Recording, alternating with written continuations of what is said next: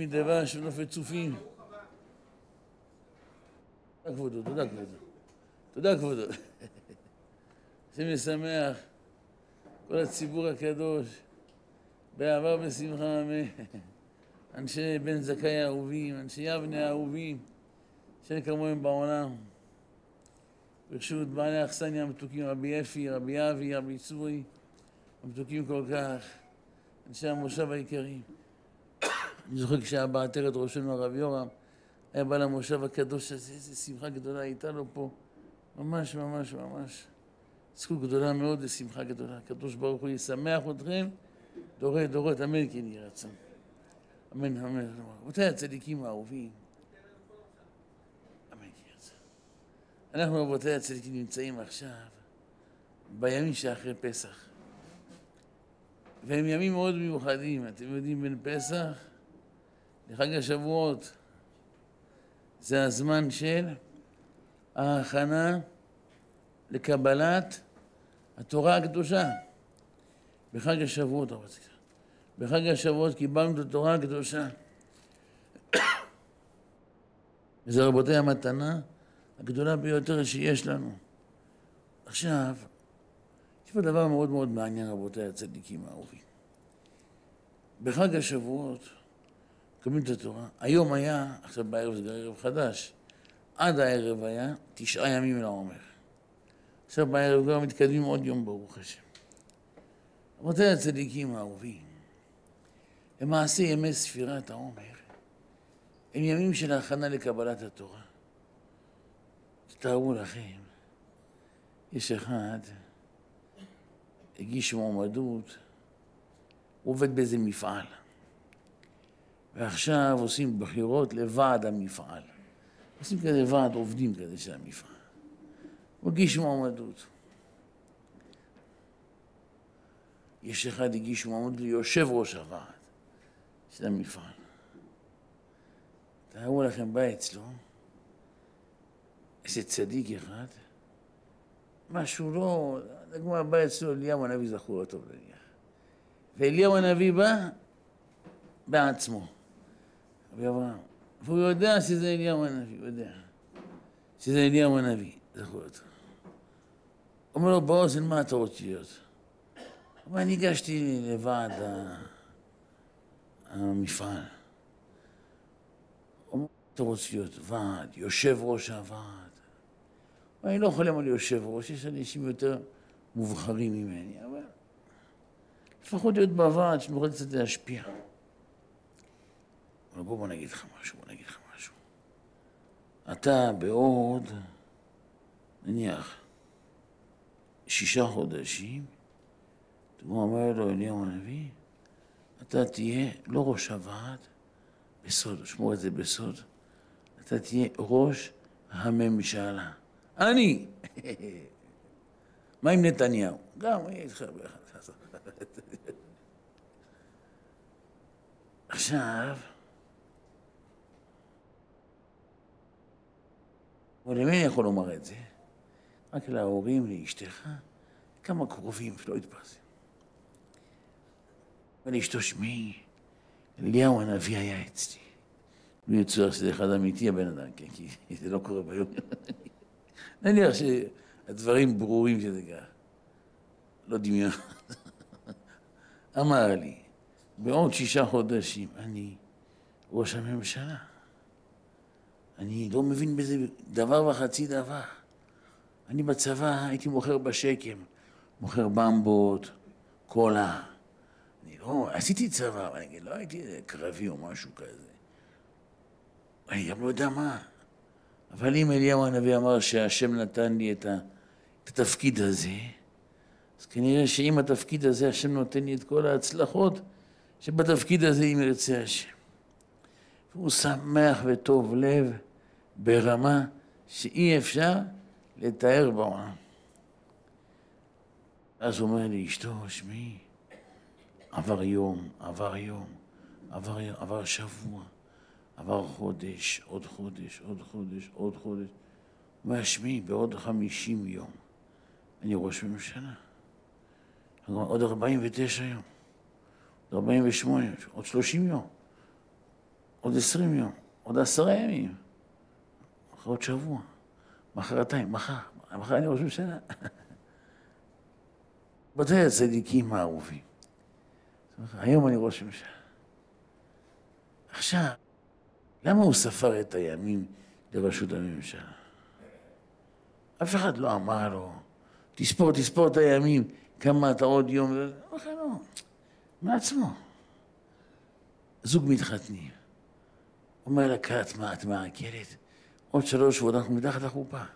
יום ראשון לא זה, לא אחריו, לא אחריו, שם אנחנו מדברים. ביום שבת הוא אומר, את מעקלת? לא, לא, לא, עוד שבועיים, עוד שבוע, עוד שבוע. למה? מהציפייה לזה, אדם סופר את הזמן, בגלל הציפייה שיש לו. רבותיי הצדיקים, חז"ל הקדושים אומרים לנו, אומנם ספירת העומר בשורש הדברים היא מצוות עשה מן התורה הקדושה, שנאמר וספרתם לכם, ממחרת השבת. ביום אביאכם את עומר התנופה, שבע השבתות תמימות הנה. אבל כשעם ישראל ספרו בפעם הראשונה, הם לא ידעו שיש פה מצווה לספור. למה ספרו את התורה, את ימי העומר? הם עוד לא קיבלו את התורה. מתן תורה יהיה בעוד חמישים יום. אז למה הם ספרו? ספרו מה, מהטבעי שבהם. אומר לך, משה רבנו אומר, חבר'ה, עוד חמישים יום קבלת התורה. מההתרגשות החשמה, עוד חמישים, עוד ארבעים ותשע יום. עוד ארבעים ושמונה, עוד שלושים ושמונה יום. קבלת התורה. ככה ספרו יום אחרי יום. אומרת לנו התורה הקדושה, וספרתם לכם, תספרו. למה רבותיי, למה לספור? כדי שאנחנו נעשה השתדלות כולנו. הבן ישחי הקדוש כותב לכן, בהרבה מצוות, אנחנו נותנים לחזן שהוא יגיד בקול, יוציא אותנו ידי חובה. נגיד בספר התורה, לא כל הציבור עכשיו מגיע לטבע, יאללה עכשיו, וידבר אדוני אל משה אחרי מות שני בני אהרון קרובת השני בין אהרון. ויאמר אדוני משה דבר אל אהרון אחיך. לא כל הציבור, החזן קורא לבד. כולנו שומעים את ימי חובה. עכשיו עושים ערבית. לא כל הציבור עכשיו. ברכו את השם המבורך. חזן אומר. פתאום הגענו, רבותיי הצדיקים האהובים, למצווה של ספירת העומר, אפילו בהלל, אחד מברך, אפשר שכולם יברכו, נגיד שאחד יברך אפילו. מוציא את כולם מירצו. ספירת העומר לכתחילה, המצווה היא וספרתם לכם. אומר הבן איש מה זה לכם? יש מצווה לכתחילה, כל אחד ואחד יספור בעצמו. ואם הפסיד איזה יום והשלים ביום מצוין, לא השלים ביום, הוא ממשיך לספור בלי ברכה, אבל יספור, יגיד היום, שלושים יום לעומר, למה? כדי שכל אחד מאיתנו ירגיש בלב את ההכנה לקבלת התורה הקדושה. וההכנה לקבלת התורה הקדושה זה השמחה הגדולה שיש לפני השם יתברך. ההכנה לקבלת התורה הקדושה. רבותיי הצדיקים החביבים, האהובים כל כך. אומרת לנו התורה, וספרתם לכם לספור. שאנחנו סופרים את העומר. זו השמחה כל כך גדולה שהשם נותן לנו. רבותיי הצדיקים, מה הדין יש אחד, יום אחד שכח לספור את העומר. למשל אתמול לא ספר את העומר. לא ספר את העומר.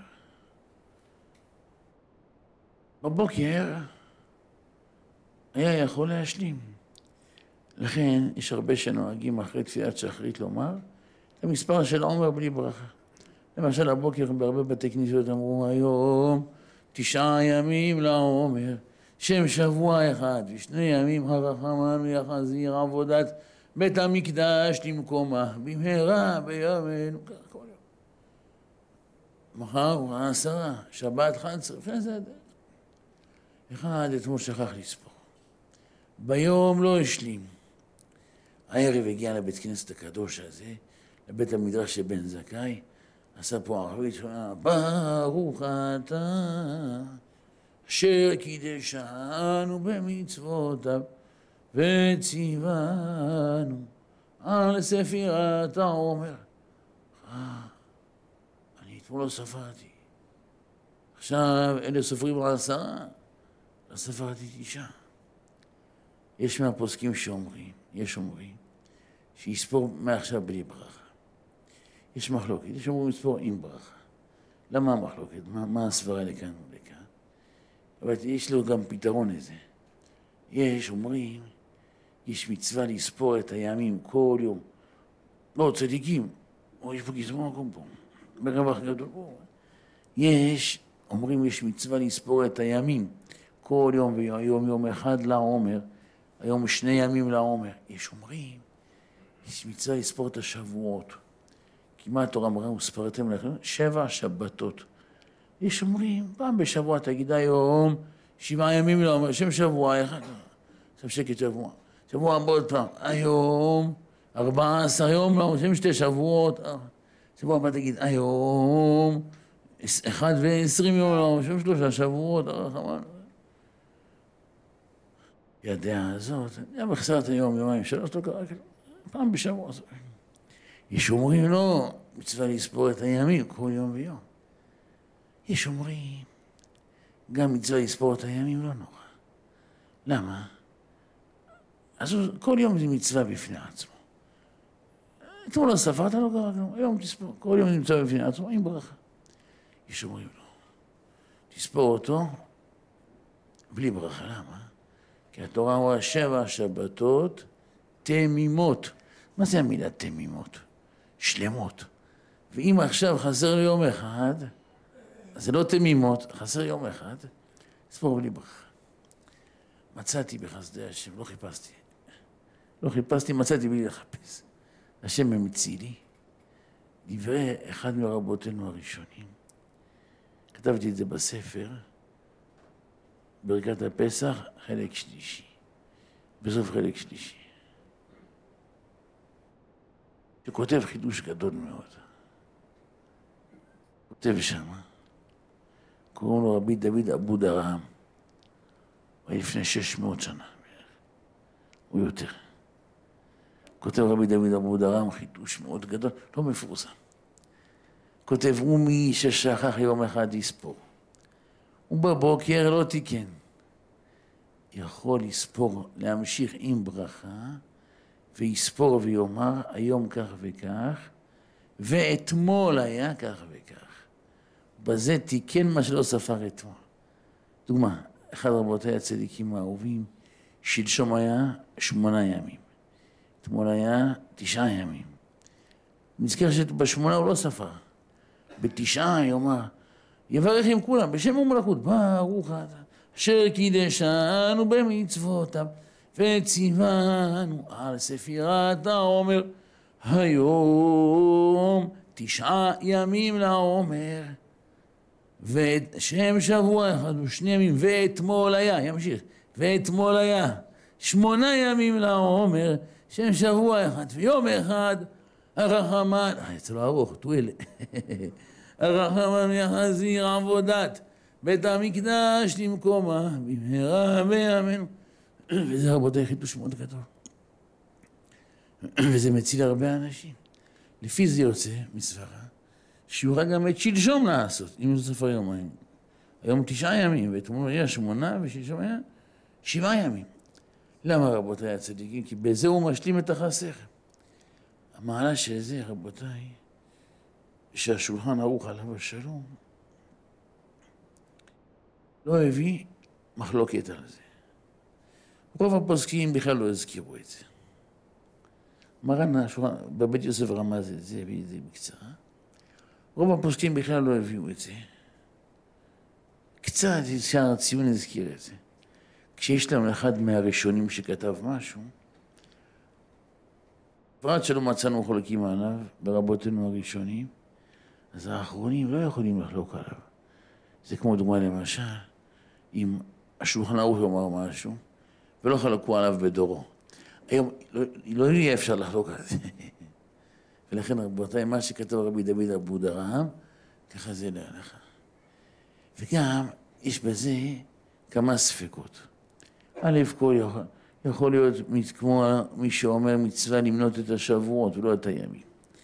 וגם אם נאמר מצווה למנות את הימים, יכול להיות שכל יום ויום הוא מצווה בפני עצמו. ויש פה ספק ספקה בשלישית, וגם אם לא אולי כרבי דוד אבו דרם, שיכול לומר ואתמול היה. לכן רבותיי, זה הפתרון למי שיום אחד לא ספר את העומר, שיספור היום ויאמר ככה ויגמר ואתמול היה ככה וככה לעומר. זה רבותיי הצדיקים, דבר נפלא. ומי שלא אומר את זה, לא בגלל שזה, פשוט זה לא מפורסם. זה מתנה שנתן לנו השם, לא חיפשתי. יש לך, אני עמלתי כמה לילות, לא, לא עמלתי כלום. אוקיי. קראתי קצת, פתאום השם ככה, הביא לי איזה מתנה. לא חיפשתי, אני לא יודע לעמול הרבה. קצת אמרתי לקרוא מה כתוב, משתדל לקרוא את האותיות, את המילים, פתאום, ככה השם יתברך המציא לי את זה. תשובה של רבי דוד אבו דרם, דבר נפלא מאוד. ברוך אתה, אדוני, אלוהים מלך העולם שהכל נהיה בדברו. רבותיי הצדיקים האהובים, הגמרא הקדושה אומרת, עוד מעט אנחנו סוף צריכים להתכונן, יבוא משיח צדקנו בעזרת השם, במהרה בימינו. הקדוש ברוך הוא עושה סעודה לצדיקים לעתיד לבוא. מה יהיה שם בסעודה? שור הבר ולוויתן. שור הבר, שור יותר טוב משל הבשר הרגיל. זה שור שהקדוש ברוך הוא מביא אותו.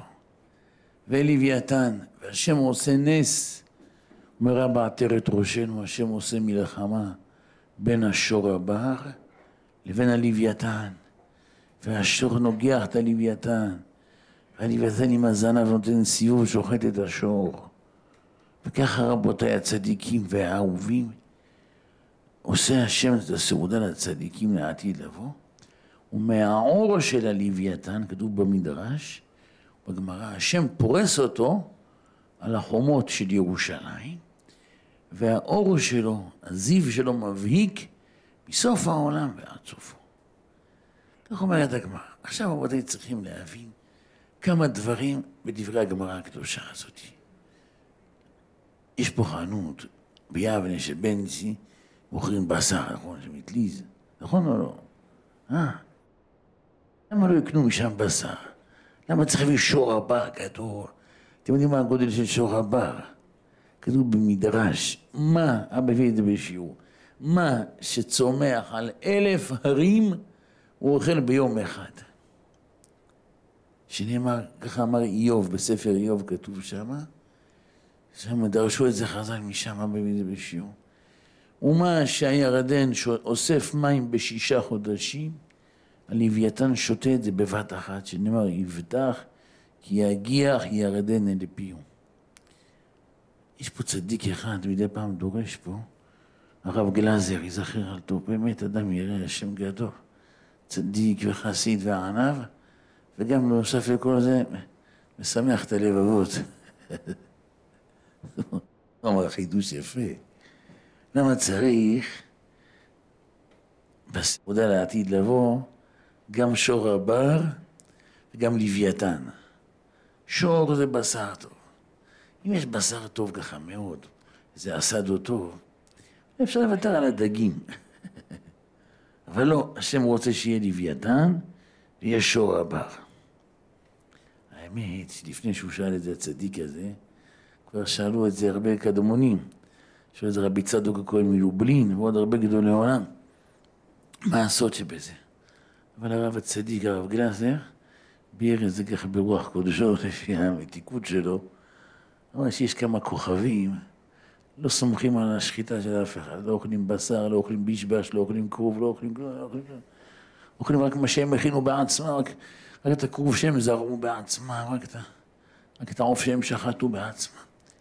אז לעתיד השם יעשה סעודה, הם יגידו, השם ממש מכיל, אנחנו סומכים עליך, ואתה יודע, אנחנו אוכלים רק את זה. יעשה להם השם דגים לכל התימונים האלה, כדי שתאכלו דגים, תירגעו.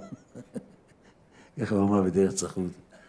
אבל באמת, רבותיי הצדיקים, שואל רבי צדוק הכהן מלובלין, זכותו יגן עלינו, למה? מה הסוד? לא למה. אם השם עושה, צריך. צריך שיהיה שור הבא, שיהיה לוויתן. לא השאלה, השאלה היא, מה הרמז שהשם רומז לנו בזה, שגם שור הבר וגם לוויתן. הקדוש ברוך הוא, כל מה שהוא עושה, זה לא מעשים של אדם רגיל. זאת אומרת, תשאל אחד, תגידי, למה הבאת לסעודה גם את הסלט הזה, גם את... זה? שיאכלו, מה, למה? מה שיותר. אבל כשהשם עושה, אז כל דבר יש לו משמעות גדולה. מצדוק סוד גדול. דבר מתוק מדבש. הוא אומר, אומות העולם רשעים. ישמעאל, עיקר המכה שלהם, הניאוף. הם גם רוצחים, שופכי דם וניאוף. למשל, עדות חיה רבותיי, כולם ראו בעיניים. ארבעת אלפים מחבלים כלבים ארורים יצאו מעזה ביום קודש, שבת קודש, שמחת תורה. שביעי לאוקטובר. אתמול היה שבעה, שבעה חודשים, השם ירחם. התפקיד שלהם הייתה להתקדם ולהתקדם, רק השם מציל אותנו, רבותיי. את התוכנית שלהם להתקדם כמה שיותר עד האזורים האלה, חס ושלום. זו הייתה התוכנית. והתוכנית הייתה מלבנון באותו יום שיצאו, גם כן שלוש ארבע אלף מחבלים, להתקדם מכיוון צפון, בתוך הצפון, עד אחרי חיפה. והרשעים שבתוך הארץ, מבני עמם, גם היו צריכים חס ושלום, כי השם ישמע מה יכול להיות. אם היו עפים עוד שלוש וחצי אלף טילים, כמו מהדרום גם מהצפון, מה היה קורה השם ישמע? ופשוט הקדוש ברוך הוא עשה להם, אומרים את זה בערבית, נוקאוט. בערבית של האנגלית, השם הבהיל אותם. נתן להם רגליים קרות ללבנון, הבהיל את כל הרשעים האלה שבארץ הקודש. אז זה כיסח אותם, ראיתם מה קורה שם, ועכשיו השתבר שם מולעד, כן יעבדו כל אויביך השם. רבותיי, יצאו משם כל המחבלים האלה. התוכנית הייתה, לא עליכם, רק להשמיד ולהשמיד, לא לעצור, עד שיהרגו אותם. וזה היה מאוד קשה, כי חלק אפילו תחפשו לחיילים. זה נורא ואיום, אתה, אתה רואה מישהו מדהים ואתה לא יודע חס ושלום, השם ישמור עד כדי כך. איזה ניסים שהשם עושה לנו. פתאום מהתאווה שלהם לזימה ולעריות, אותם נשים צדקניות, השם יקום דמם הטהור. פתאום צריך להתעסק שם בזימה איומה מאוד, באכזריות רבה מאוד, השם ישמור. אבל ראיתם, זה שהם התבצרו בתוך שלושה ארבעה קיבוצים, זה הציל את כל המדינה. זה הציל את כולם, דעו לכם. אתה רואה מה זה תאוות הזימה שלהם. כבר הצליחו לצאת מעזה, הם לא האמינו שהם יצליחו לצאת, הצליחו לצאת. במקום להתקדם הלאה, זימה, שיים. זה ישמעאל, זימה, זימה, זימה, זימה. מה זה עשיו? רציחה. עשיו כולו, הנאצים הרשעים זה עשיו. רציחה. היה שם קצת זימה, אבל לא, לא, לא קרה שם בשואה מה שקרה בעזה. מה שהם עשו. הם רשעים, הם נואפים, הם לא ברמות האלה. הם, אחר בך תחיה. עכשיו יש 70 אומות העולם, 35 מצד ישמעאל, 35 מצד עשר. אומר רבי צדוק סוד גדול. ברצח אין בו דבר טוב. לרצוח אנשים אין דבר טוב. אין, זה לא דבר טוב. גם אין בזה דבר טוב בעתיד, לא עושים דבר כן. רק מהרוע שבהם, שברשעים האלה, הם מסוגלים לרצוח. מה שקרה במזרח התיכון בשנים האחרונות, אנשים שכחו שיש מושג שנקרא אויב.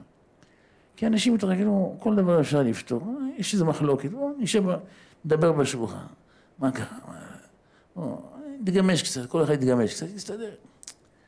אנשים לא יודעים שיהיה, לא ידעו שנים שיש מושג שנקרא אויב, שהוא רוצה לרצוח ולא אכפת לו למות. העיקר שהוא יפגע באחרים. הוא לא ירוויח מזה כלום, אבל מהרוע שבו כדי להזיק לאחרים, הוא מסכים אפילו למות. זה הרשעים האלה.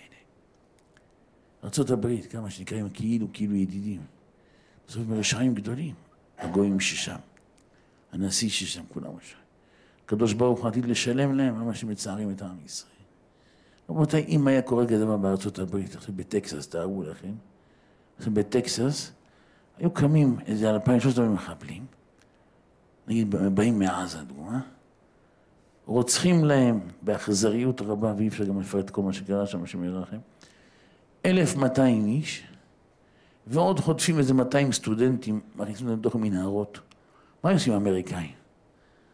תכניס להם אה, תפוח אדמה, סיוע הומניטרי, נכון? לרוצחים, תכניס. היו קודשים את כל... אמר לי פעם אבא, מתי תימחק עזה? איזה יום יהיה פיגוע ארצות הברית, והתברר שזה מחבל מעזה עשה את זה. אתם ימחקו את עזה. בן לאדן החמור הזה, יום אחד הם חשדו, האמריקאים, שהוא נמצא באיזה בית אבות. יש שם בית אבות של אלפיים איש מסכנים. מחקו את הבית אבות, לא השאירו אבן עליהם, מחקו את הרופאים, החולים, כל הזקנים, המבקרים, מחקו הכל, אלפיים איש מתו ברגע. רשעים. בסוף הוא לא היה שם, מה אמרו? מילה אחת, מתנצלים.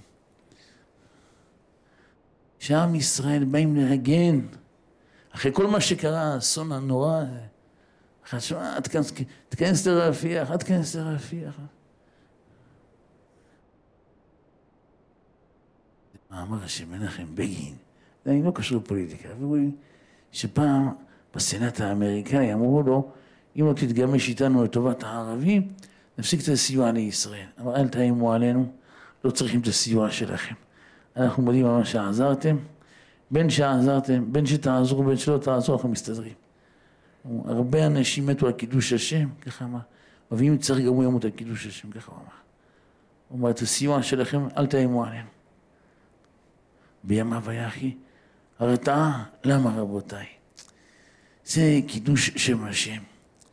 אתה רואה הרשעים האלה מעזה, כל הישמעאלים, שטופים בזימה, שמרחם על כל מיני מקומות של כל מיני. עשיו שטופים בדם. אומר רבי צדוק די לחסות. הגמרא אומרת, משפט מאוד מעניין.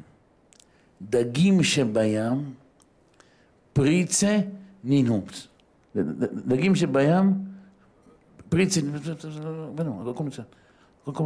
דגים שבים, פריצה נינו.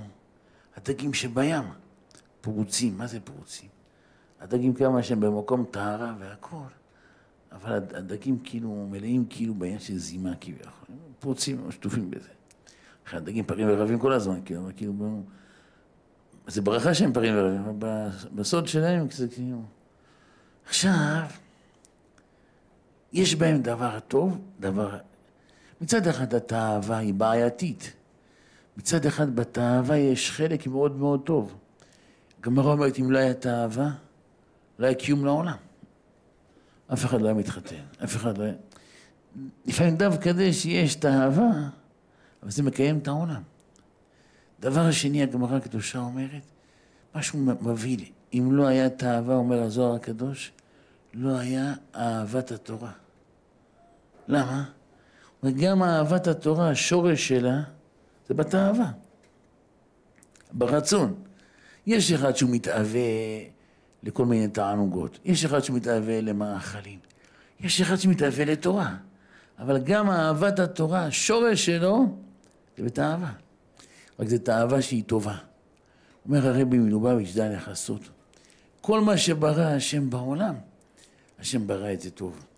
השאלה מה האדם עושה בזה.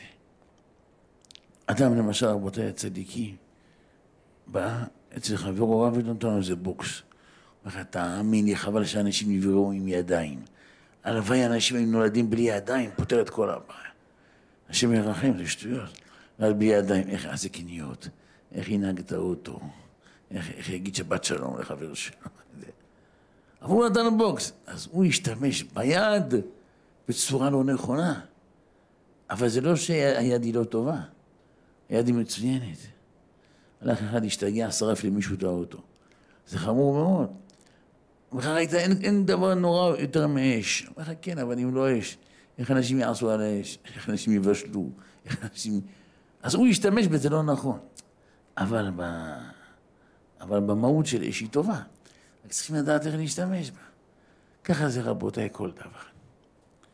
חוץ מרצח. רצח אין בו דבר טוב. אומר רבי צדוק לכן, מישור הבר, שור זה רציחה. השם לא ישאיר כלום. אלא מה? הבשר שלו לצדיקים, זהו, יימחק השור. בא לרמוז שעשיו יימחקו. דגים, מה יעשה מזה השם יתברך? ייקח את העור של הדגים ושם אותו בשערי ירושלים, בחומת ירושלים. לרמוז שבדגים יש תאווה, והתאווה הרעה, צריך להעיף את זה, אבל את התאווה הטובה, צריכים לשמר את זה. ולכן מהדגים השם משאיר, כי הדגים לעתיד לבוא, מהתאווה הזאת, רבותיי הצדיקים, גם כן בעזרת השם, יצא דבר טוב. אבל לא מהישמעאלים הרשעים האלה, זה השם מוחק אותם לגמרי. תראו עוד מעט בעזרת השם יתברך, הקדוש ברוך הוא עושה נס אחרי שיגמרו את רפיח, מביא איזה צונאמי אחד, למה השם רוצה שהמצווה תהיה בידי החיילים הצדיקים שלנו, שזה מגן על כל עם ישראל לנצח, אחר כך הקדוש ברוך הוא צונאמי אחד, מוחק את כל עזה, שוטף את כל הזבל הזה, העיף את זה לים. אחר כך תתרחב בן זכאי עד עזה ככה, וחוף בן זכאי, יקראו חוף בן זכאי, חוף נפרד חוף הנפרד בן זכאי.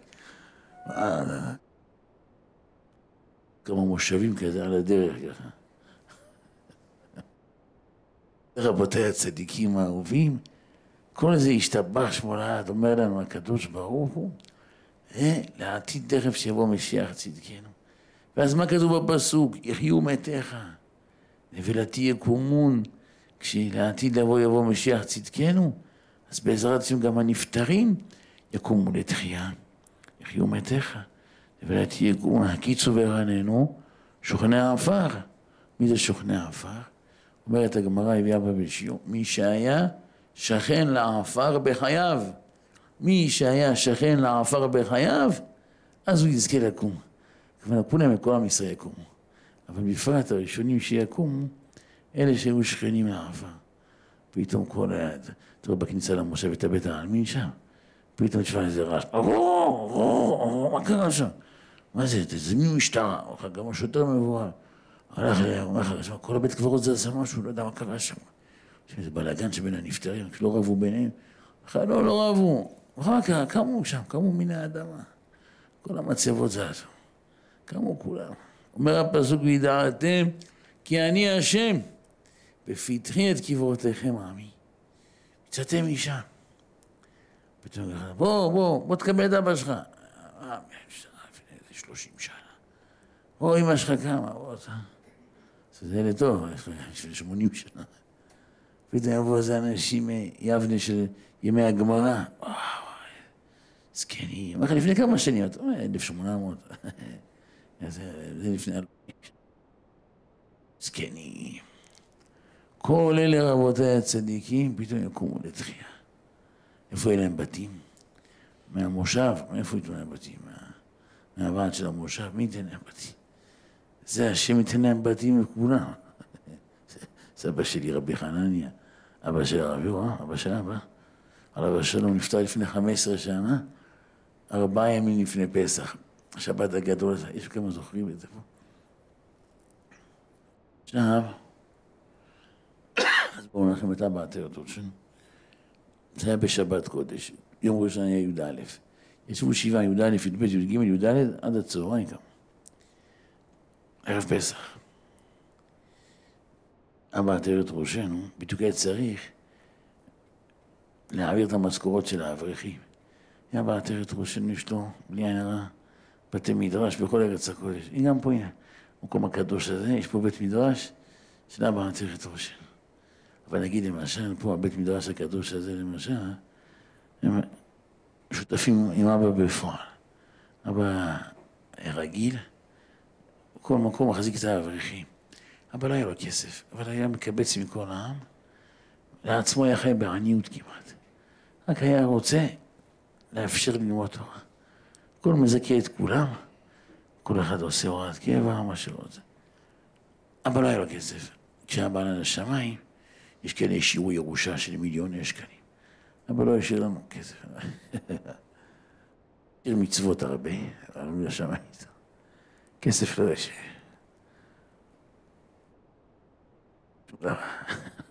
נתן לי קצת כסף שהיה, השתמשי בזה עוד מעט. אמר זה משהו טוב. חוץ מזה רבותיי, לא השאיר לנו כסף. למה? מה? לא היה. אבא פירנס אלפי משפחות, נכון. כל מה שנתן לו השם, פיזר את זה על עם ישראל. גר בדירה פשוטה, באיזה בניין פשוט בארבע קומות, ובלי מעלית, בלי כלום ככה. כבר ראשונה ככה. הכל פשוט. פשוט, פשוט, פשוט. אף פעם לא רצה מהעולם הזה יותר מדי. ומתאמץ על המשכורות. אבל אתה יודע, יש כמה רבנים עשירים גדולים. הרב הזה אומרים יש לו 300 מיליון. הרב הזה 500 מיליון, 800 מיליון, סכומים.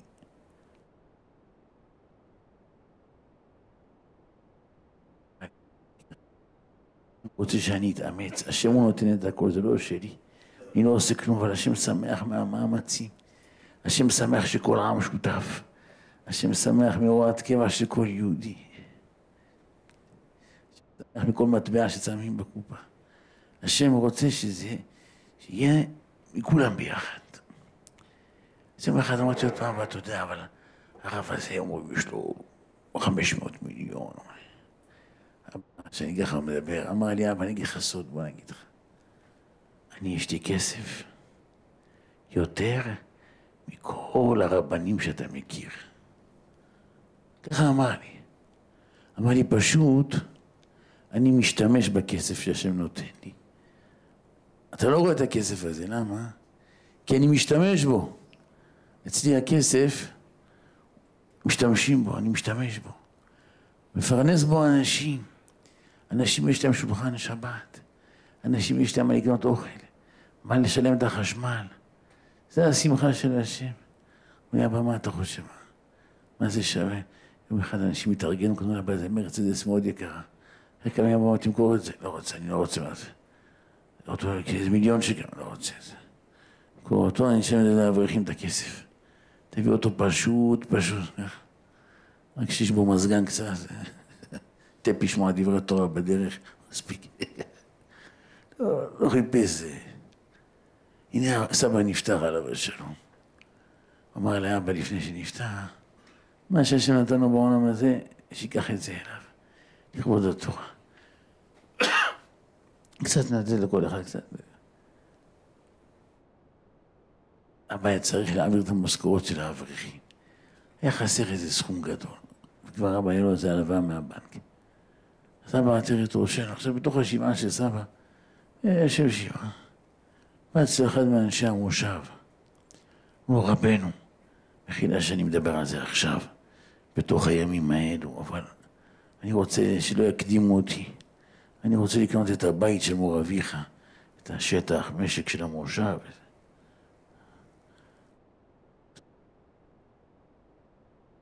לך תשובה.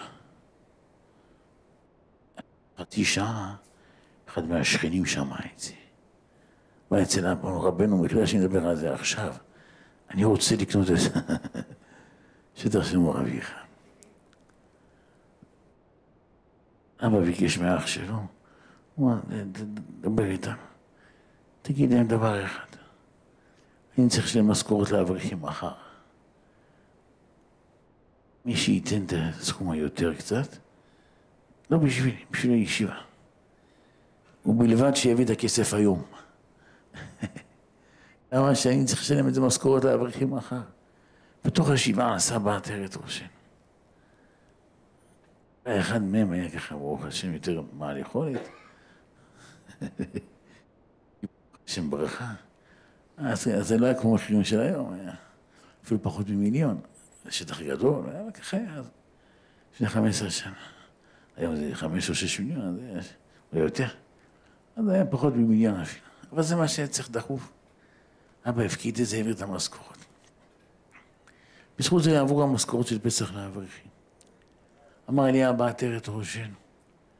ומה אתה אומר? כמה שמחה יש לסבא בשמיים, שעוד בתוך השבעה שלו, מהבית שלו, מהכסף שלו, שולמו משכורות של אלפי אנשים בינה. ככה אמר לי, זה עזר למשכורת של אלפי אנשים שיוכלו לשרוד בחג בן פורת יוסף. אז אמא, שמשמור אותה, הרבנית, שאלה את אבא, אמרו לו, הרב יורם, עכשיו מכרת את הדירה של אבא שלך. עוד כמה זמן יבוא משיח צדקנו. יהיה תחיית המתים בעזרת השם.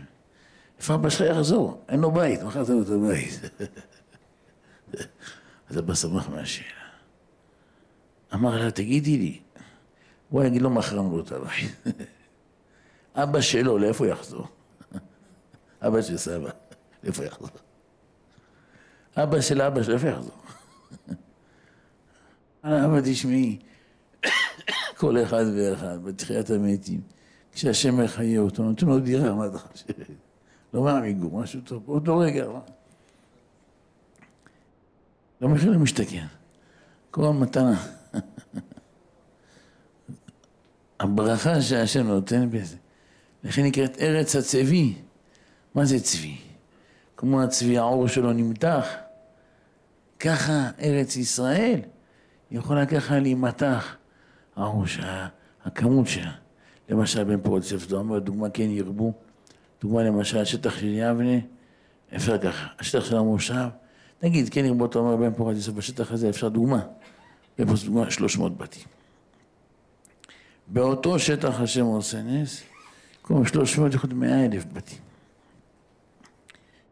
הוא צבי. יש הרבה אנשים, זה נמתח. יש מקום פתאום. מעט אנשים מתקבץ. וזה רבותיי הצדיקים, המעלה הגדולה של התחייה, שתהיה בקרוב. לכן אומר דוד המלך, שיר המעלות, בשוב השם את שיבת ציון, היינו כחולמים. אז ימלא שחוק פינו. ואז ימלא. היום, גם כשיש שמחה, זה מאוד משמח. אבל בזמן הזה של הגלות, כמה, רבי דוד, כמה שיש שמחה, רבי דוד שלנו. ציינו. הרב שהיה בכנסת ברחובות, היובל הספרדי, ברוך הבא רבי דוד, יש לך טעם שכינה, איזה ענק. זה רבי דוד שלנו. בזכותו אני ברחובות, אם לא הייתי רק באשדוד וביבנה, ראיתי, הייתי בן זקן. אז ימלא לשחוק פינו, מה זה אז ימלא לשחוק פינו? אומר רבא, עטר את ראשנו בזמן הזה, גם יש שמחה, היא לא שלמה. בשעה טובה יש לך בר מצווה של הבן. אתה שמח מאוד, מתארגן. אבא שלך נפטר לפני שנתיים. אתה שמח של הבן שלך. אבא שלי עכשיו היה שבת חתן, עושים ככה, עושים את זה. יש אחד אבא שלו חי, יש איזה דוד קצת נפטר, אחד שמע, יבואו אנשים, לא יבואו, כל מיני חשבונות. אומר לך, ברוך השם, כולם חיים וקיימים. פתאום רוצים איזה מחיר גבוה על מנה. פעם כשאני הייתי חתן בר מצווה, היה אולם בנתיבות, זה נקרא אולם חשוב, קראו אולמי אפרת, קראו לו. אז היה עולה מנה שמה 25 שקלים. כולל הכל. אני שמעתי את המחיר, אמרתי, אוי, כל כך יקר. אמרתי, אמא שלי, מה את רוצה להגיד לי, ארבעה אנשים שיכלו לסגור מאה שקל? אמרתי, כן, מה אתה חושב? ואז אנשים היו נותנים מתנה חמישים שקל, חמישים ושתיים שקל. מי שנתן מאה שקל זה היה... יש את זה, יש מופרעים שהיו... לא כאילו. זה היה כאילו, הכל היה זול יחסית. עכשיו אתה אומר, 25 שקל היה. היום 25 שקל זה עוד לא תאורה והגברה בכלל. אז 60, 60, 100. עכשיו רוצים 200, 220, אתה רוצה 300, רוצה 400, רוצה... עכשיו בסוף רבותיי הצדיקים, האולם שמגזים מאוד רוצה 500, אולם שרוצה 200, האוכל שלהם שווה. אולי פה תמצא איזה כנף שפה אין, אבל לא. לא זה מה שמצדיק, דוגמה להכפיל את הסכום. היה אצלי איזה בעל אולם אחד, לפני כמה זמן. אמר לי, תן לי ברכה לאולם שלנו. עובד חלש קצת. צריך ברכה לאולם, צריך ברכה. אמרתי לו, יש פה רב צריך לדרוש עכשיו? ויפי. אנחנו... נעזור. הייתי תכף מסיים. אתם ממהרים מאוד או לא מאוד? עוד דקה. וואלה, יש לי בעל אולם אחד. עכשיו, כשפרי רוצה למנה, הוא רוצה למנה כמעט 400 שקל. עכשיו, יש הרבה אולמות באזור. זה 380, 360. אמרתי, אין, תן ברכה, אין ברכה באולם. אמרתי, אני אגיד לך את האמת, אני יכול להגיד לך משהו. אמר לי, כן, בכבוד. אמרתי לו, אין לי חתן מתחתן אצלך. אמר לי, אצלך המנה כמעט 380 משהו, אבל את החבר שלך, מי? ב-360, עשית לו בטעות ב-315. יש פה אולמות שכנים שלכם, 200, 220. האוכל אותו אוכל. אמר לי, לא, אבל זה... אצלנו זה...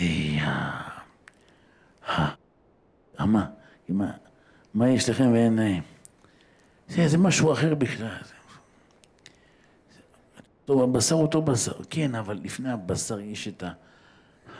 לא זוכר מילה שאומר כמו הבסיס של הבשר, משהו לא מובן כל כך. אז עכשיו, זה לא שבאמת, רבותיי הצדיקים, אין לו ברכה. אבל אנשים עושים את היכולת ש... אם אני יכול לשלם על המנה טובה 200, 220, למה יש שם 350? איזה אולם לפני כמה זמן. יוקרתי. שקל מנה. למה? מה, מה יש פה? אבל זה רבותיי הצדיקים לפעמים יותר מדי יקר. אז אדם מסכן. אז הוא עושה שמחה ברוך השם. לפעמים יש אנשים, זה מאוד רגיש להם, מה יגידו? מה עשית באולם הזה? אה, זה עשה באולם ההוא. עכשיו, אין שם יותר מדי. לפעמים רבותיי לא רק לא יותר מדי, לפעמים בעולמות היקרים מאוד, יש שם פחות. אני אומר לכם, אני... לא יוצא לי הרבה שעות בסעודות, אבל קצת, אני אומר לכם, יש לנו לפעמים פחות מהאולמות העממיים יותר. יש אולמות עממיים יותר, בא ואוכל, עושה נטילה, יש רחמניה טובה, איזה עשרה סלטים, מנה ראשונה, מנה שנייה, אתה לא יכול להכניס עוד סיכה אחת, בן פוחת יוסף. כל החשובים האלה, יש לך כל מיני צנוניות כאלה, כל מיני מילונים. מה הקשר בסלטים, איזה מילון בצד אחד של הסלט, משהו איום ונורא. ים מקופלת על ארבע ככה, עם קיסה. וזה כאילו נקרא חשוב, כאילו, זה... מבין קצת את זה. עגבניית שרי חצויה לשתיים. זה שני עלים של עשב, לקיים את הקללה של אדם הראשון, בזיעת אפיך תאכל לחם. לפני כן וקוץ ודרדר תצמיח לך, ואכלת את עשב השדה, עשבים. אז זה לא שאדם אין לו ברכה, יש לו ברכה, הוא צריך אבל כאילו, זה בא אחד להתחתן בשעתו בבית אולם יוקרתי. בסוף חסר לו איזה שלושים ארבעים אלף שקל. אומר אתה האמת, לא יודע ככה להתחיל את החיים עם חוב של שלושים ארבעים חמישים אלף. חבל, מה, אני תכננתי שאנשים ייתנו לי, כמה ייתנו לך? הם מוזמנים אצלך היום, אצלו אתמול, אצלו מחר. כאילו, התאמצו לזה.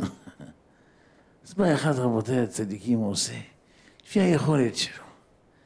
יכול להיות שהיכולת רבותיי הצדיקים לפעמים זה פחות, אבל כשבלב יש שמחה אמיתית, זה הרבה יותר, לא לכם רבותיי הצדיקים.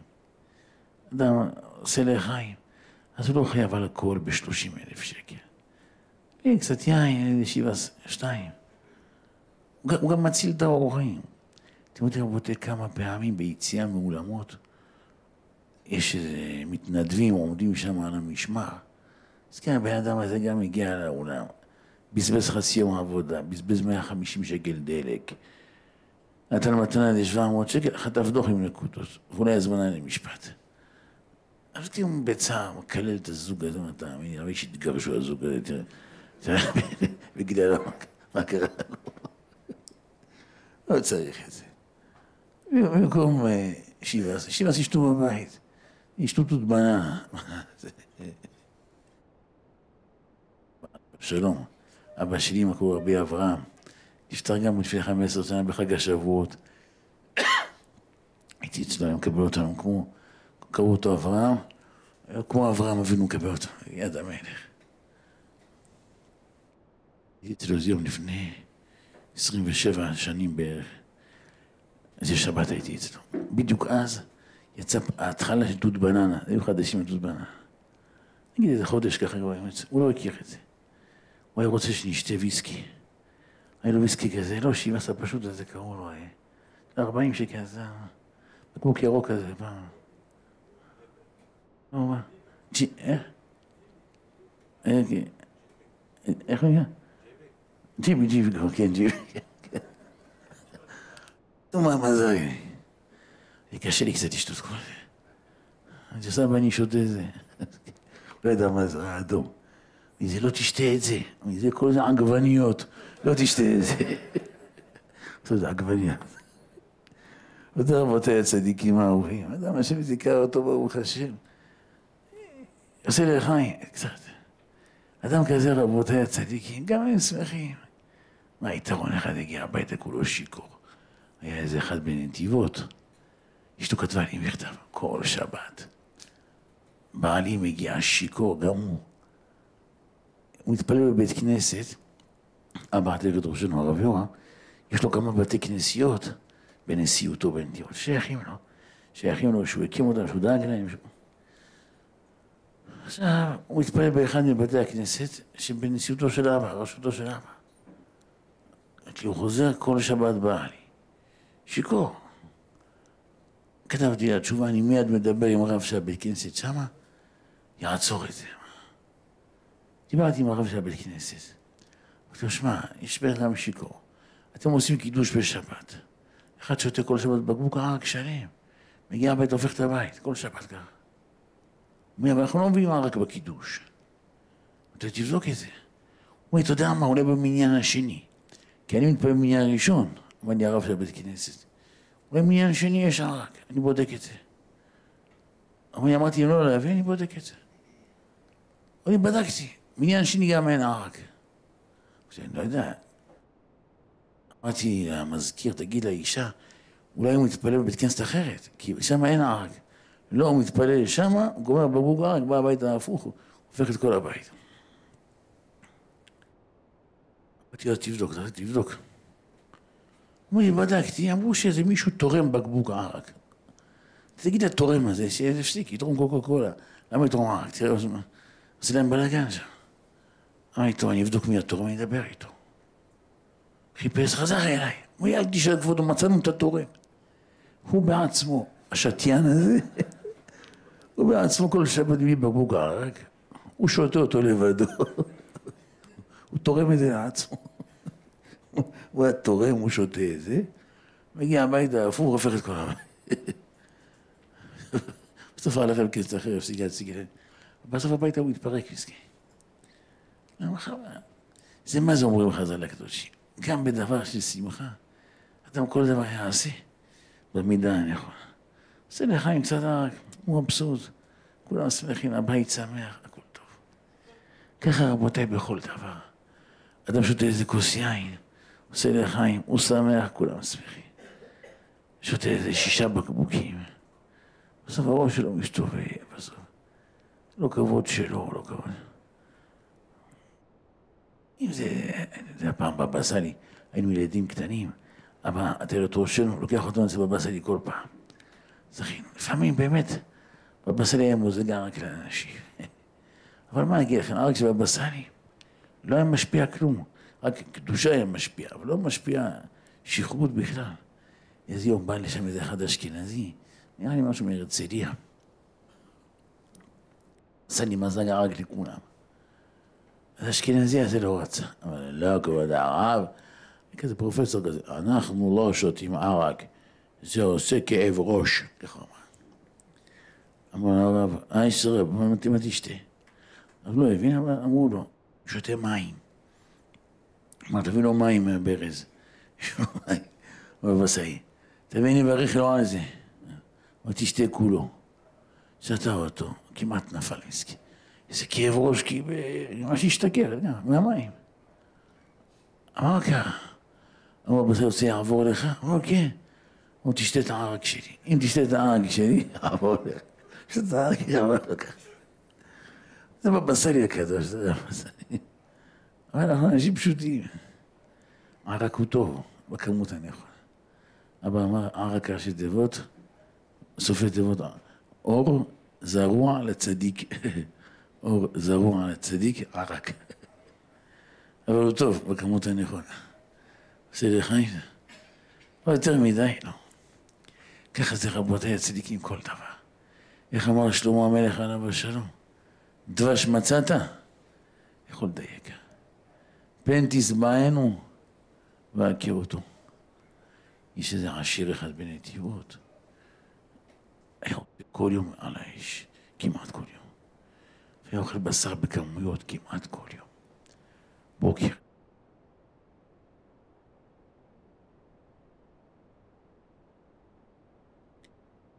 אז כן קיבל איזה חולי מסוים, שהגוף לא יכול להכיל בשר. התנפח מסכן. הלך אצל טובי הרופאים, אמרו לו, הגוף שלך פיתח אלרגיה לבשר. מאותו יום רבותיי, הוא אוכל גרם של בשר, מתנפח כמו טרמפולין. הוא עשיר, יש לו כסף. יכול כל יום לעשות על האש בלי עניין לכל הציבור הקדוש. והוא בעצמו לא יכול לאכול מזה. הוא אוכל חתיכת בשר ביום, שתי חתיכות. עושים על האש, אוכל, דרך העולם עד ששבעים. אבל בטעם טוב. הוא גם שומר על הטעם של זה. כשאדם שומר על הטעם של זה, רבותי הצדיקים, זה אשר יאכל וישמח וישבע. אבל כל דבר, רבותי הצדיקים, בטוב טעם. אמר לי פעם בנתיבות, אמר לי, אתה מכיר את הרב ההוא שגר בשכונה שלי? איזה רב חשוב אחד. אמרתי לו, כן, אני והוא לבד. גם אמרנו כבש שלם. אמרתי לו, איך? אמר לי, אנחנו אכלנו את כולו ושתינו ארגז יין לבד, ביום אחד. ועוד כמה חתיכות בשר בקר. סיפרתי את זה לאבא, עטרת ראשון, כמה שמח, הצדיקים. למה רבותיי? יאכל, צריך לאכול. עד שיהיה שבע, שיהיה שמח. על כל דבר רבותיי הצדיקים, בטעם טוב. עושה לחיים.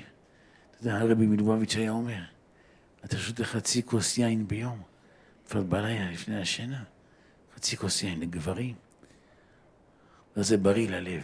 בימי הגמרא היו שותים חצי כוס יין על הבוקר. אומרת הגמרא, יין על הבוקר היה בריא ללב.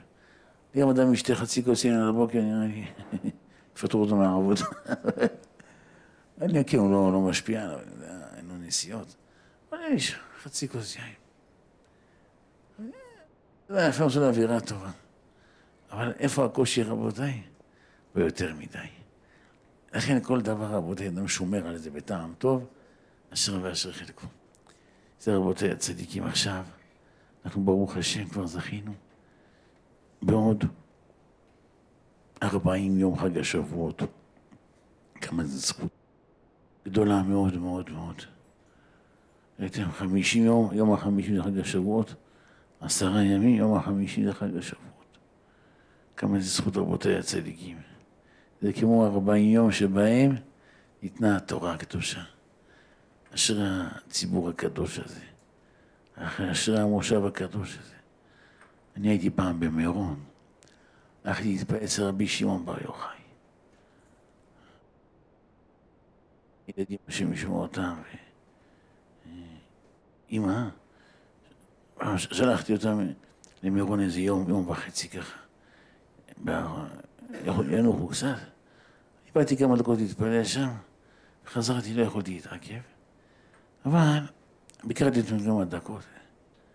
והנה רבותיי, בא לשם אותו בעל הבית. אמר לי, אני מכיר אותך. טוב, איפה אתה מכיר אותי? אני שומע את השיעורים שלך בבן זכאי. אמרתי בלב שלי, למה דווקא בן זכאי? אמרתי בלב, ראיתי אם השם עשה שהוא ישמע דווקא את השיעורים של בן זכאי, לא של נתיבות, רק בן זכאי. אמרתי בלב זה סימן יפה. סימן שהתורה של בן זכאי מגיעה גבוה גבוה. היה פה פעם מופת הדור ביום העצמאות, הרב מזוז, השם ישמעו ויחייהו. אה, דיבר על החשיבות של המושב הזה. אתם זוכרים בשנה שעברה הרב היה פה. אמר כמה שמחה יש לרבן יוחנן בן זכאי, שיש על שמו המושב הקדוש הזה פה, בארץ ישראל, ככה. שבוע הבא, עוד שבועיים בעזרת יום העצמאות, לחיים טובים. איזה קידוש השם יש פה. אני לא יודע, רבותיי, אני לא מגזים. לפי עניות דעתי, יכול להיות רבותיי הצדיקים, אולי בין חמישים למאה מקומות של יום שכולו תורה, למדו מהמקום הזה לעשות את זה. הקידוש השם שיש פה יום שכולו תורה, בלי עין הרע, רבותיי הצדיקים, זה משהו שנוגע לכל ארץ ישראל. יש אנשים מהצפון הרחוק באים לפה, מהדרום. שעות על גבי שעות. הנה עכשיו בנתיבות, באחד מבתי המדרשות שלנו, גם עושים יום שכולו תורה, איזה גיסי היקר. דוגמה למשל, זה 200 איש למשל, מפורת יוסף. יש אנשים עושים ביבנה, יש אנשים עושים באשדוד. אבל מאיפה הם למדו את זה, רבותיי? בנתיבות למדו את זה מפה. ביבנה למדו את זה מפה. עוד כמה מקומות, אמרו לי מארגנים שמארגנים, שאלתי אותם פעם, זה עורר אותם מפה. עוד כמה מקומות, רבותיי. אמרו לי, מפה למדו את זה. בכמה מקומות, רבותיי.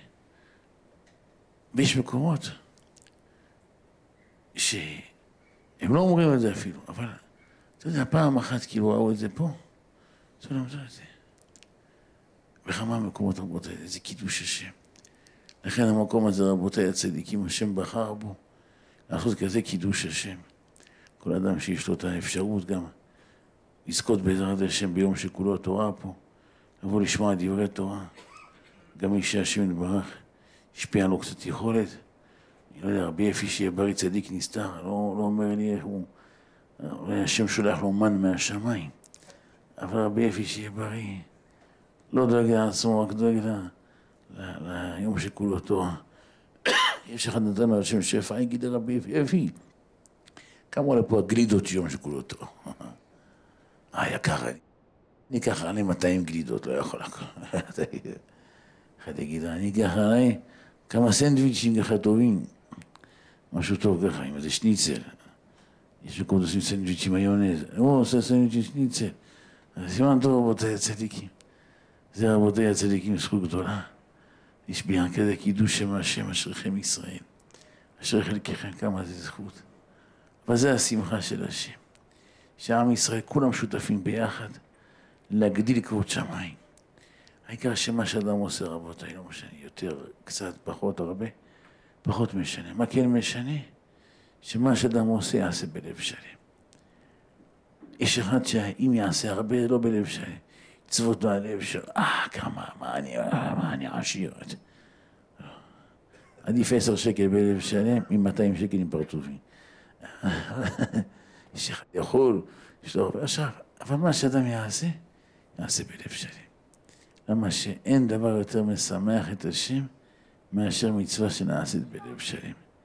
ביראת שמיים, בקדושה, באהבת השם. וזה רבותיי הצדיקים מביאים ברכה ענקית לכל עם ישראל כולם. שליחים לישראל. יש גם אנשים לא יכולים להיות פה כל היום. למה? באים אצלם איזה אורחים, עושים סעודה קצת, יום העצמאות, בשביל להודות להשם יתברך, ש... בשביל להודות להשם יתברך על... נתן לנו את ארץ הקודש. זה רבותיי הצדיקים, זה שהשם נתן לנו את ארץ הקודש. מצווה להודות על זה להשם יתברך. למה רבותיי הצדיקים? זה מתנה גדולה. מרן הרב עובדיה, יש לו חתן, הוא הרב של מכבים רעות, קוראים לו... סיפר לנו דבר פלאי, אנשים לא יודעים את זה. אמר לנו פעם, כל יום העצמאות, סיפר פעם, היה מרן הרבנו עובדיה, בא אצלי לבית. ביום העצמאות הייתי עושה על האש, והרב היה אוכל מזה. רואה מזה אמר, זה הודעה להשם שהביא אותנו לארץ הקודש. כל יום העצמאות. ובשנים שכבר הרב היה ישיש מאוד, היינו עושים בשר על אש בבית, באים אצל מרן לבית, עושים את זה עבודה בבית שלו. שקרה, יש קצת מאחינו, הקיצוניים קצת, קצת מהאשכנזים החרדים, קצת. רובם המתונים יותר, קצת ככה קיצוניים. שאם היו המדינה, הציונות, זה כל מיני קושיות היה להם על זה. רבותיי הצדיקים, כל הקושיות האלה דברים בטלים. למה רבותיי הצדיקים? אחד אמר, היינו בחוץ לארץ, חוץ לארץ, רבותיי, זה היה, כל חוץ לארץ היה בעיה קשה מאוד, גלות. אנחנו פה בארץ הקודש, רבותיי. כמה שתגיד, אה, מדינה, כן מדינה, דתיים, לא דתיים, קודש, כל זה דברים בטלים. בסוף אדם דתי, ברוך השם. אנחנו גרים פה בארץ הקודש. אם לא הייתה מדינה, היינו בארץ הקודש. אלו היו במרוקו, אלו היו בתוניס, אלו היו בקפריסין, אלו בטריפולי. אדם צריך, רבותיי, להודות להשם. יש להם קושיות על הצבא. אם לא היה צבא, היה להם מענה מה לעשות בשביל האוקטובר, רבותיי הצדיקים. השם ירחם. איזה ניסים ונפלאות השם עשה. מי עשה את השליחות הזאת? אנשי הצבא הצדיקים הללו. ראיתם רבותיי, בשלוש שעות שעוד לא הגיעו כל כך אנשי הצבא, ראיתם איזה אסונות היו שם. אף אחד לא היה ערוך לזה. אנשי הצבא של עם ישראל נתן להם השם המון כוח. דעו לכם, הם היו רק חמישה חיילים בצבא, חמישה. היו ערוכים לזה. גם היו בהם חמישים מחבלים חמושים. החמישה חיילים האלה לא משאירים בהם זכר מחבלים. לא היה, לא היערכות, לא משמיים. כל מאיתו יתברך. תיקון שהיה צריך לעבור. אבל אתה ראית? שלוש שעות. אבל השתבח שמו של השם, ראית? אומרים שהמלחמה, שאף פעם מבריאת העולם לא הייתה מלחמה כזו. גם מלחמה מלמעלה וגם מתחת לאדמה. בנביא היה מקרה אחד של מנהרה אחת בודדה. אצל צדקיהו המלך, הוא ברח משם, תפסו אותו. במנהרה אחת בודדה מהבית שלו לבחוץ. מנהרה אחת הייתה. יש כמעט אלפיים קילומטר שם המנהרות. אף אחד לא ידע, רבותי הצדיקים, גודל הסכנה שהייתה, גודל ההודעה שהייתה, גודל ההודעה שהייתה. כמה רבותי הצדיקים, אם אדם היה יודע, החשיבות של זה. רק להודות להשם. אותם חיילים קדושים וטהורים, שמסרו נפשם על קידוש השם. איפה הם נמצאים במקום שלהם? במקום הכי גבוה אצל השם יתברך. למה רבותיי? זה נקרא הרוגי המלכות. אין כל בריאה יכולה לעמוד במחיצתן של הצדיקים האלו, שמסרו נפשם על קידוש שם השם. יש לאנשים קושיות, למה מקימי המדינה רובם לא היו דתיים? אבל השם עשה ככה בכוונה. אבא אמר פעם, שאם מקימי המדינה היו כולם דתיים, המדינה לא הייתה קמה. אחרה כל כך הייתה נלחמת שזה לא יקום. כי גם עם ישראל חוזרים לארץ ישראל, וגם הכל בדרך השם. זה היה, הסטרה אחרת הייתה מתאבדת על זה שזה לא יקום. אז מה השם עשה? לאט לאט. קודם כל שעם ישראל ישובו לארץ ישראל. אז רוב המקימים היו קצת רחוקים, אז מה? אבל לאט לאט ברוך השם, אתה רואה, ושבו בנים לגבולם. בלי עין הרע, אתה רואה כמה תורה יש בעם ישראל. כמה קדושה, כמה... יש כמה אנשים מסכנים, הנשמות שלהם באו מגלגולים של דברים לא טובים כנראה. אז הם מדברים כל הזמן רע, מסכנים. הם לא אשמים בזה. זה השאלה גלגול של מה הוא מסכן. אחד שמסכן גלגול של איזה חתול מסכן. אז הוא כל הזמן ידבר דברים רעים. המדינה הזאת, והחופים האלה, והאנשים האלה. וזה... אבל מסכן, זה לא מדברים טובים, זה לא מאיזה קדושה מיוחדת. מי שמדבר לא טוב על ארץ ישראל, מסכן, זה מעיד מסכן. הגמרא אומרת, או על הטעויות מסכן שלו, או על הטעויות של המולידים שלו. הגמרא אומרת, יום אחד היה שיעור בבית המדרש של רבי אליעזר הגדול, התנא הקדוש, רבי אליעזר הגדול, רבו של רבי עקיבא. נגמר השיעור. בא לשם תלמיד חכם אחד, לא, לא מוכר. אמר לו, רבנו, מחילה שאני, אני יכול לדרוש קצת בציבור, הכנתי קצת שיעור יפה? בכבוד. רבא, בוא, תלמיד, רוצה לדרוש? אמר, ברשות מוריי ורבותיי, אומר הכתוב בנביא, בן אדם, צא, זה ככה פתח, זה הדרשה, צא והודעת את ירושלים, את תועבותיה. זה הפסוק, צא והודעת את ירושלים, את תועבותיה. רבי יצר אמר, בוא שנייה, בוא שנייה, בוא שנייה. לקח את הרמקול, אמר באלו המילים, גמרא, עד שאתה דורש בתועבות ירושלים, צא ודרוש בתועבות אימך. ככה אמר. איזה מה אמא שלך עשתה? איזה תועבות אמא שלך עשתה? ככה אמר. אה, רב רב גדול. מי אמר את זה רבותיי? רבי אליעזר הגדול. מה הוא עשה? מה? הוא פתח את הדרשה, צא והודעת את ירושלים את תועבותיה. וכל התנ"ך זה הפסוק היחיד שמצאת. לך לדרוש על בריאת העונה. על בניו של אהרון הכהן, פסוק של הפרשה. זה מה שקרה, תועבות ירושלים. מי שמדבר על תועבות של ירושלים, של ארץ הקודש, מסכן הוא לא אשם. זה גלגול של איזה משהו מסכן. הוא יכול להיות תלמיד חכם, הוא יכול להיות תלמיד לא חכם, הוא יכול להיראות כמו תלמיד חכם. מי שמדבר לא טוב על ארץ ישראל, זה מראה מסכן שהשורש שלו לא טוב.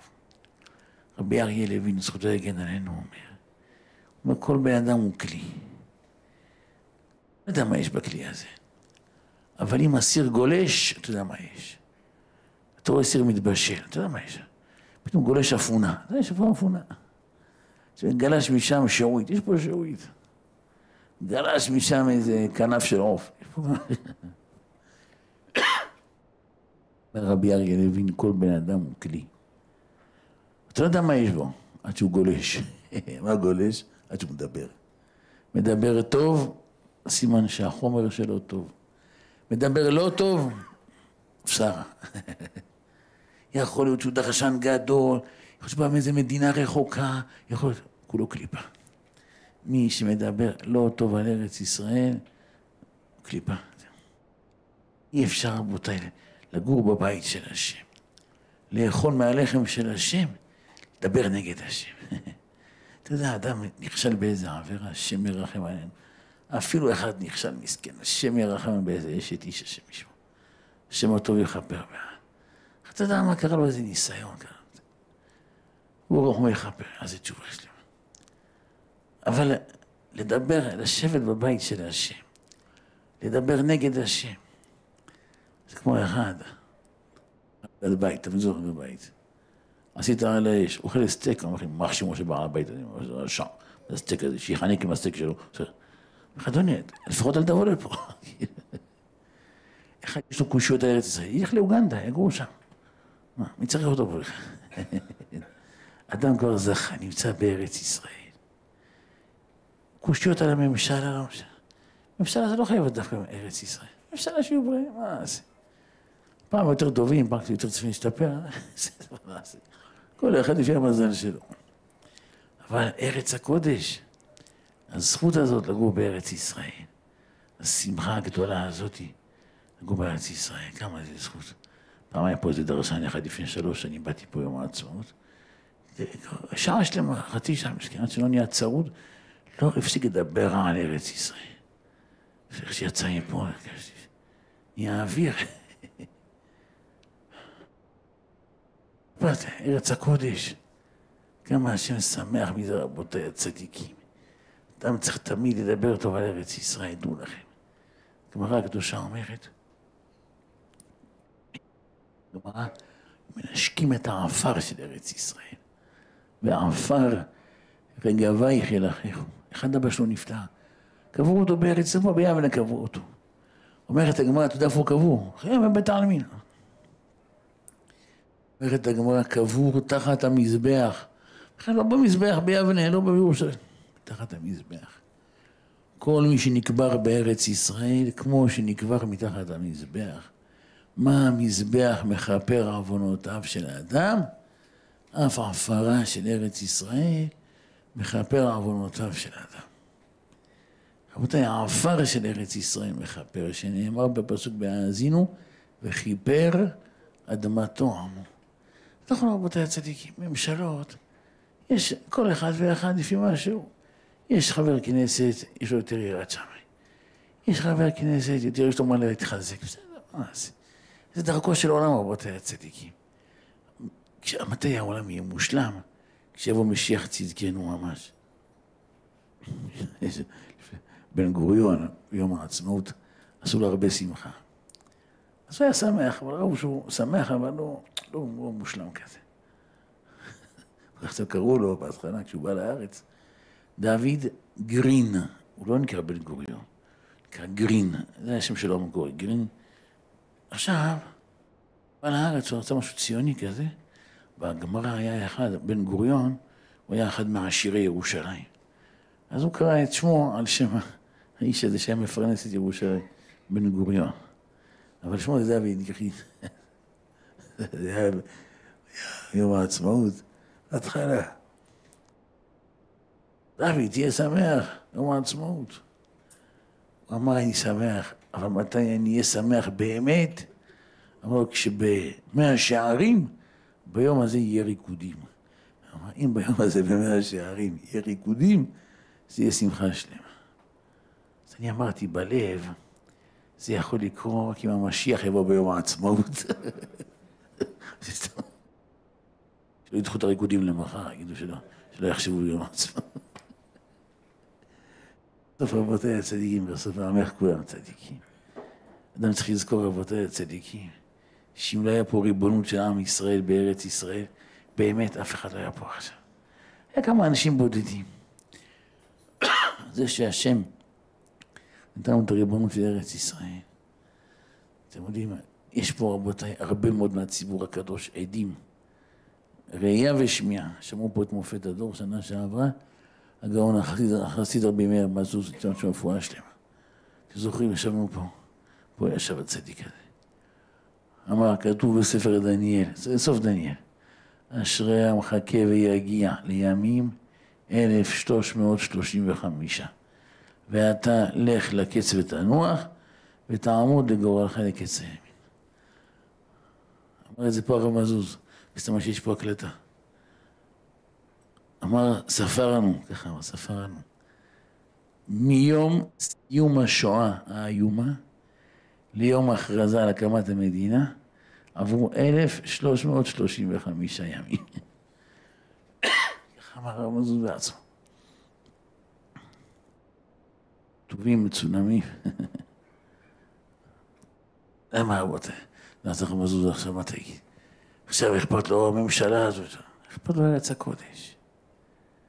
ממשלות רבותיי הצדיקים, זה הקדוש ברוך הוא, הוא מקים, הוא מפיל, מקים אותם, מזיז אותם. ראית רבותיי, הקדוש, הקדוש ברוך הוא, הוא עושה הכל. הוא דואג להכל, מסדר את הכל. בסוף רבותיי הצדיקים זה הכל הכל בידו של השם.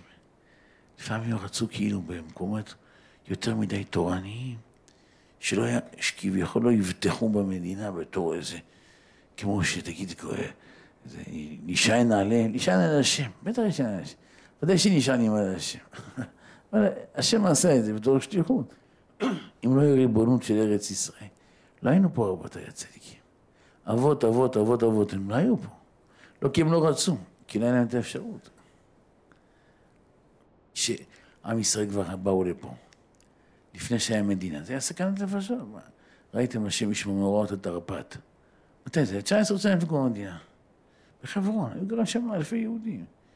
הרשעים האלה תכננו את זה בסוד ביניהם. יום שישי בבוקר קמו על הבוקר, כל אחד עם גרזינים טבחו בשכנים שלהם באכזריות רבה מאוד. משהו, דברים שאי אפשר לתאר, השם ישמע. רחבעם זאבי, השם ייקום דמו, עשה ספר מיוחד על זה, על מה שקרה במאורת התרפ"ט. דברים מזעזעים. אתה רואה באמצע הספר אצבע ככה, תמונה של אצבע, אצבע של יהודי קטועה על ידי הרשעים ככה. דברים מזעזעים. כמה צער עם ישראל עבור מכל הרשעים האלה. רבותי הצדיקים היום, ברוך השם, אתה רואה? זה הגנה, ברוך השם, איזה. בסוף ההגנה זה מהשם יתברך, אבל, אבל השם מינה את האנשים להיות שליחים. מה שקרה בשביעי לאוקטובר, רבותיי הצדיקים, זה משהו שמימי. אנשים יכולים לחפש השם מפה עד לונדון. בסוף בסוף זה משהו שמימי, רבותיי הצדיקים. לא משנה מי היה הקצין באותו זמן, המפקד, איש שב"כ, האיש... כל זה רבותיי לא משנה. באמת, כל האנשים האלה באמת עושים מלאכתם נאמנה. אף אחד מהם לא מזלזל בעבודה שלו. יש אנשים, רבותיי הצדיקים, באנשים האלה, לא דווקא בראשים המפורסמים, גם באנשים הפשוטים שבהם, שעושים מלאכת קודש בביטחון של עם ישראל ברמות שאי אפשר לתאר. שרבותיי יוצאים לעבודה בבוקר, צריכים לחזור בארבע, חוזרים בשמונה, תשע, עשר. השלום בית ככה ככה. כל זה לנסות להציל עוד משהו, לתפוס עוד איזה הודעה, לעקוב אחרי עוד איזה וואטסאפ של הרשעים האלה. אין להם, לא מחפשים עוד שעות נוספות. אבל יש אנשים שהם עובדים בעבודה פיזית, חשבה אם אני לא עושה את זה עכשיו, כרגע, כרגע לא, אף אחד לא יעשה. אנשים עושים את זה במסירות נפש, עושים עבודת קודש כזו גדולה. הכי קל לבוא, לזרוק כל מיני מילים. אבל האנשים האלה, רבותיי, של הביטחון של עם ישראל, באמת עושים מלאכת קודש גדולה מאוד.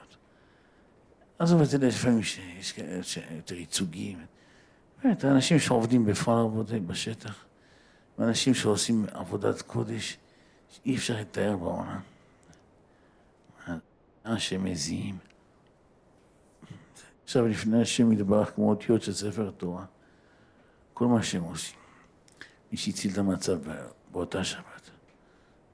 יש שם 60 שוטרים שנהרגו. השוטרים האלה הם הצילו את המצב. כל אחד מהם הרג 20-30 כלבים. ונהרגו.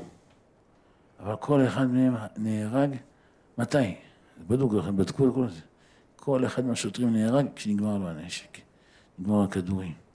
כמה הם הצליחו לחטוף נשק של מחבלים, והשתמשו בנשק של מחבלים. כמה עשו מזה עבודת קודש רבותיי הצדיקים. אי אפשר לתאר. עשו ממש, הם הצילו את המצב, השוטרים האלה רבותיי. כל השישים שוטרים שנהרגו, הם הצילו את המצב. הייתי בשיעור בפיקוד דרום, הייתי אלוף פיקוד דרום, כמו משה בכר. זה האיש הזה רבותיי, אדם בן 65-70, תן לו השם אריכות ימים ושנים. אדם בגיל כזה רבותיי, אימא שלו נהרגה שם בידי בני עוולה. שם באותו, באותה שבת. אדם בגיל כזה רבותיי, היו לו 15 כדורים באקדח. 15 כדורים, הוא הרג 15 מחבלים. באותה גיל כזה אפילו, גם אנשים בני 25 לא יכולים ב-15 כדורים להרוג 15 מחבלים. השם עשה לו נס, התחבא אחרי זה שיחי. נפל לו הטלפון, שבע שמונה מטר ממנו. רצה להביא אותו, פחד. אמר, יביא אותו, יראו אותו. השם עשה נס, הוא מספר. היו מחבלים עוברים, פתאום הטלפון שלו מצלצל, אנשים מחפשים אותו. לא יכול לצאת. מחבלים עוצרים, איפה הטלפון מצלצל? יש בן אדם, איך שהם עוצרים, יורה בהם. 15 כדורים, רק 15 מחבלים. איזה קידוש השם. זה רבותיי כל הישועה הזאת שהשם עשה. זה, צריך להודות על זה להשם. מה שקרה מוצא שבת לפני שלוש שבועות, עשינו בזה ככה בדיחותא. אבל דעו לכם רבותיי, הניסים, אמר לי אחד שהיה נמצא שם עם מפקד חיל האוויר, אמר לי איזה התרגשות הייתה. אמר לי, אתה לא יכול להבין מה קרה שם. השם עשה נס, הכניס איזה רוח רע באמריקאים, ליירט קצת מה... כתביים, הכניס איזה רוח שטות ב... בירדנים שגם הם יחד. הם לא צריכים לעשות את זה. הם סתם מסכסכים את עצמם. השם נתן להם את הג'וק הזה שיעשו את זה. רבותיי הצדיקים האהובים, כל המטוסים של חיל האוויר, כולם היו באוויר, כולם. כל אחד קלע בדיוק, זה נס. זה לא, זה לא מובן ממנו, כל אחד קלע בדיוק. אתה לא, לא קולע במטרה באדמה, אתה קולע במטרה באוויר שהיא זזה. כל אחד קלע בדיוק. נפל אחד, הרג איזה כלבה אחת, יהודו כל אויביך השם. אתה רואה איזה קידוש השם רבותיי הצדיקים, שאי אפשר לתאר בעולם את זה. זה הצדיקים, כמה זה חשוב. אדם יודע להשם. אמר לי אחד שהיה שם מפקד חיל האוויר, אמר לי, תדע לך כבודו, הנס הזה שקרה עם הכטב"מים האלה, ככה אמרה לי, צריכים לרשום אותו גם במגילת אסתר וגם בהגדה של פסח, ככה אמרה לי. זה קרה בין פורים לפסח. אבל צריכים לרשום את זה גם במגילת אסתר וגם בהגדה של פסח. אין לנו מושג רבותיי כמה ניסים השם עושה איתנו, כמה נפלאות השם. אתה רוצה את הרכב ההוא של מחבלים, מלא גרזינים, מלא השם מישהו. זה ניסים של השם, רבותיי הצדיקים. זה המחבלים האלה בירושלים לפני שבועיים, שלוש, איפה שני בחורי ישיבה באוויר, עם, עם האוטו, נפצעו קל, נס גדול. יצאו שניהם עם רובים, הירובים לא יורים להם. רבותיי, סרטונים של לא יורים להם. זה ניסים של השם. תגיד, היה סגור הנשק, לא סגור. שורה תחתונה. אתה רואה? כמה נפלאות, שפשוט אי אפשר לתאר בעולם. לכן רבותיי הצדיקים, כמה חשוב שהאדם, הקדוש ברוך הוא מזכה אותו, להודות להשם על כל הניסים, כל הנפלאות. זה רבותיי הנחת רוח שיש לפני השם, כמה שיותר. אשר לכם אני מבקש לך שהארכתי עליכם קצת, אבל לא התכוונתי, אבל השם עשה נס שקיימתי דבריי. פעם שעברה כזה קצר, אמרתי לכם שהוא עבד לעשות פיצוי. אז הקדוש ברוך הוא ייתן לכם שכר טוב על כל שנייה ושנייה. תתבורכו מפי עליון, נזכה משיח צדקנו, באהבה וברוב חיבה, בשמחה ונחת. וכמוכם ירבו בישראל אלף אלפי פעמים, ורוב ברבבות. יחד נזכיתי ורשע יהודה וישראל ישכון לבטח בימינו של כולנו, מה שבקרוב. זהו, כל אלה שחיים בדור הזה, צריכים לחיות עד שאחרי ביאת המשיח. מספיק. בילה המוות לנצח, עכשיו צריכים כולם לחיות. תחיה את המתים, מי שכבר נפטר, החיים צריכים להישאר לחיות בעזרת השם יתברך. תן השם חיים ארוכים לכל עם ישראל כולם, משיח צדקנו בקרוב, בחן, בחסד וברחמים, בשמחה ונחת, ואתם שלום, ביתכם שלום, וכל אשריכם שלום. גם אבא היה שמח כשבא לפה. זה הבעיה בכל הארץ, שיעורי תורה, שיעורי קורא למקום הקדוש הזה אלול. בהתחלה היה פה אלול, אבא היה שמח שמילול, הפכו את זה לבית של השם. זה לא פשוט, רבותיי. כל הזמן היה שמח. רבי משה שיהיה בריא, משה רוקח שיהיה בריא, אבא תרד ראשנו, רבי יפה היקר שלנו. זה הקפה של משה שיהיה בריא, הוא נותן לנו הרבה יראת שמיים. האמת, אני באתי עייף, פחדתי להירדם כל פעם שעברה. איך שהקפה של רבי משה, עשו בו איזה סגולה, נו, עשה בו איזה סגולה. הקדוש ברוך הוא ישמח את כולם, משיח צדקנו בקרוב, בחן בחסד וברחמים, אמן כן ירצו רבי חנניה. אמן כן ירצו, אמן. רבי חנניה כאשר ירצה הקדוש ברוך הוא, לזכות את ישראל לפיכך, ירבה להם את האומצות שנאמר, זה יחפוץ למען צדקו, יגדיל תורה ויאדיר.